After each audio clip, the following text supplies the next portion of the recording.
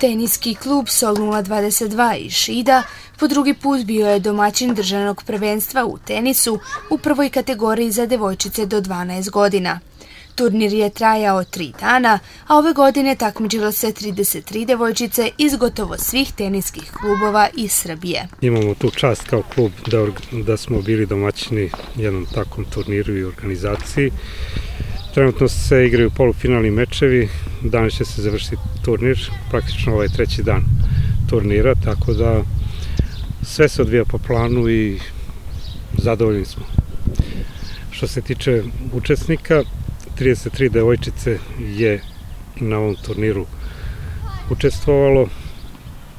To je jedan mm, jako veliki broj, s obzirom da, da prvenstvo Vojvodine nije bilo baš na takom nivou, ali ovde su bodovi veoma značajni za njih, pa zato se i trude da uh, u velikom broju učestvuju i da osvoje neke poene, kao i naravno vredne nagrade koje smo mi pripremili.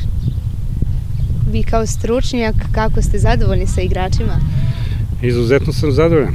To su deca koje zaista su u samom vrhu uh, srpskog tenisa i vojđanskog tenisa, tako da uh, zadovoljstvo je biti domaćin jednog ovakvog turnira.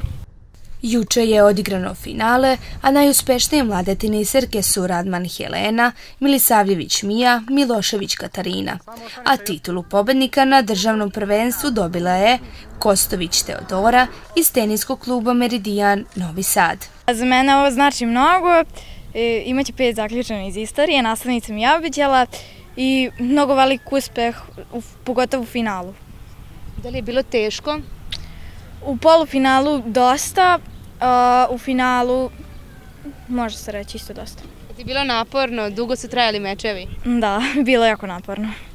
Da li će ti ova nagrada poslužiti u daljem treniranju? Naravno, to najskoro najveći pehar. TK Sol 022 poznat je po uspešnim mladim teniserima i najposećenijim teniskim turnirima. Do kraja godine ovaj klub organizovaće tradicionalni međunarodni turnir Kup Nada kao i turnir veterana.